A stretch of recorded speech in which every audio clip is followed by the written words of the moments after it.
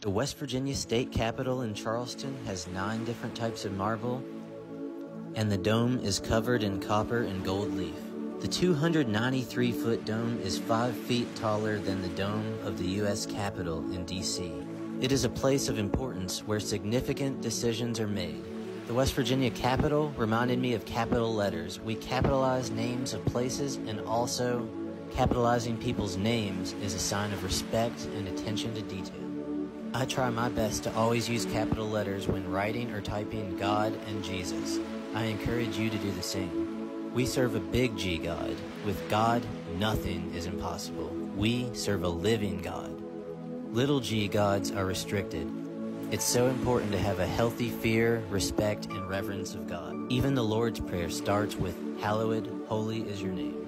Hebrews 12:28 Therefore, since we are receiving a kingdom cannot be shaken, let us be thankful. By it we may serve God acceptably with reverence and awe. What a mighty God we serve. Jesus loves you. Have a blessed day.